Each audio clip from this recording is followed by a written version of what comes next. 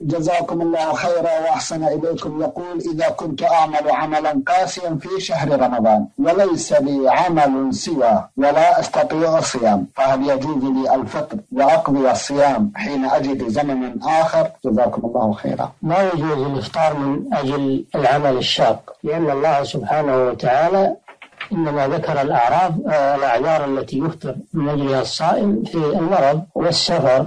وكذلك الحائض والنفس وكذلك الكبير الهرم الذي لا يستطيع الصيام أو المريض المرض المزمن هذه هي جملة الأعذار الشرعية التي يباح من أجلها الإفطار في نهار رمضان والقضاء من أيام أخرى وأما العمل الشاق فإنه ليس بعذر وعليك أن تصوم. فإن أدركك الهلاك وخشيت من الموت في أثناء النهار فإنك تأخذ ما يدفع عنك الخطر وتمسك بقية اليوم وتقضي من يوم آخر. إذا لم تستطع إكمال الصيام لليل خشيت من الهلاك. الحاصل أنه لا بد من الصيام لأنك حاضر لست بمسافر ولأنك صحيح ولست بمريض فتصوم لكن لو عرض لك عارض خشيت معه من الهلاك فلك أن تفطر وأن تأخذ ما يبقي عليك الحياة ثم تمسك بقية اليوم وتقضي يوما آخر بدله. نعم.